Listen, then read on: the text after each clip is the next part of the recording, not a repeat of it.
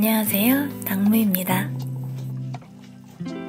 오늘은 오렌지 파운드 케이크를 만들어 볼 거예요. 오늘의 재료는요.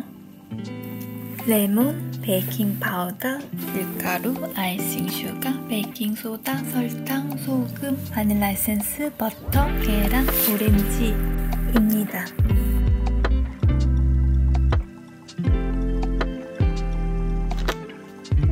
버터 113g을 큐브 모양으로 잘라주어 부드러워질 때 사용합니다. 오븐 예열 160도로 해줍니다.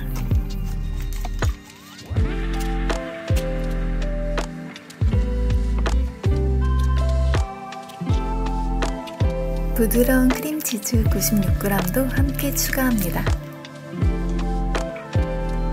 버터를 크림화 시켜줍니다. 설탕 196g을 추가해줍니다.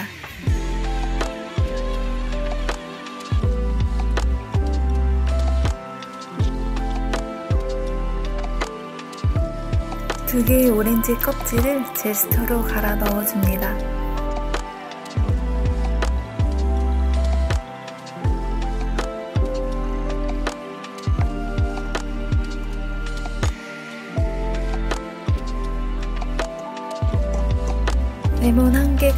껍질도 넣어줍니다.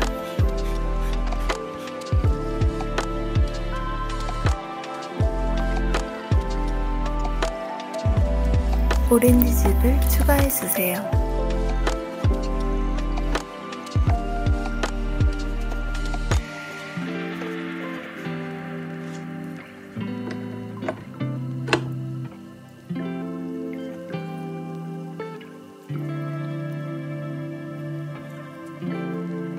이렇게 오렌지를 잘라 넣어주어도 좋아요.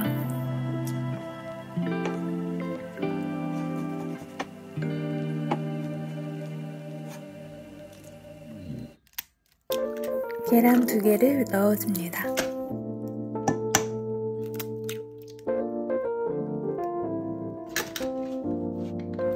이제 섞어줄게요.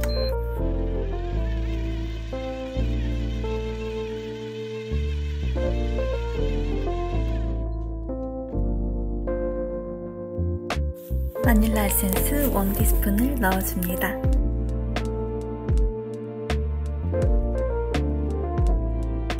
소금 4분의 1티스푼을 넣어줍니다. 베이킹소다 2분의 1티스푼을 넣어줍니다.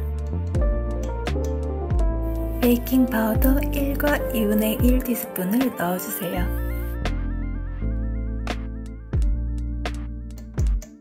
밀가루 240g을 추가합니다. 그리고 섞어줍니다.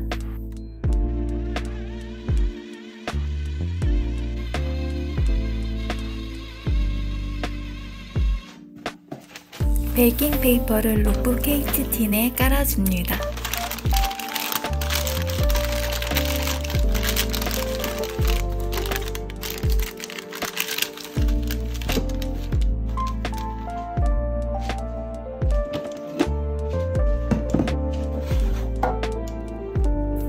반죽을 잘 정리해주어 로프 케이크 틴에 담아줍니다.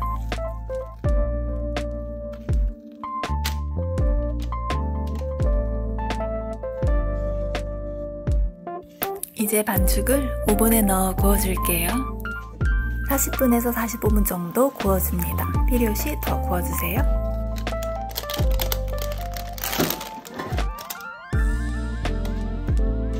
골든 브라운색으로 잘 구워졌어요. 한번 잘라볼까요?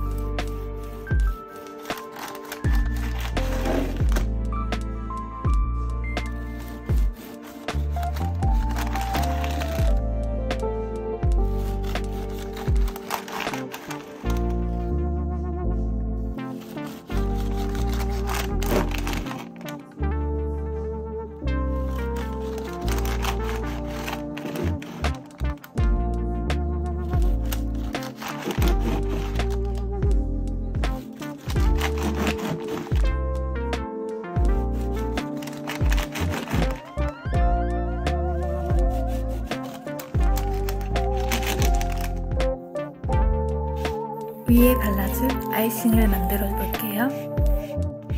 한 개의 오렌지 껍질을 갈아 넣어줍니다.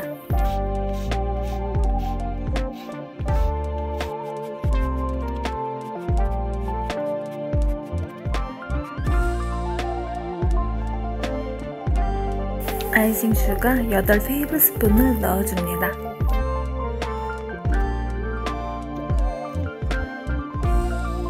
레몬 한 개도 중간에 짜 넣어줍니다.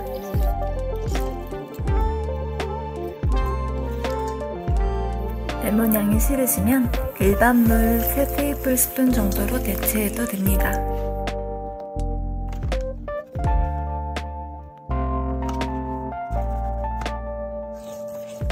만약에 너무 물이 많으면 아이싱 슈가를 더 넣어주세요. 반대 상황은 물이나 레몬즙을 더 넣어주세요.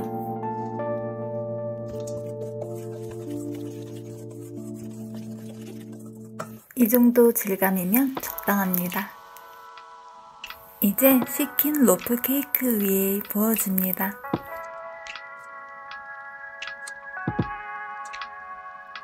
참고로 빵이 뜨거울 때 부어주면 다 흘러내려가기 쉬워요. 다 식히고 난 뒤에 glaze 아이싱을 부어주세요.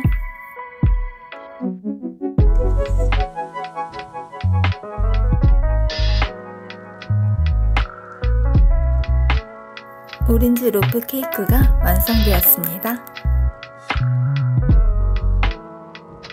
원하시면 추가적으로 장식해 주셔도 됩니다. 한번 먹어볼까요?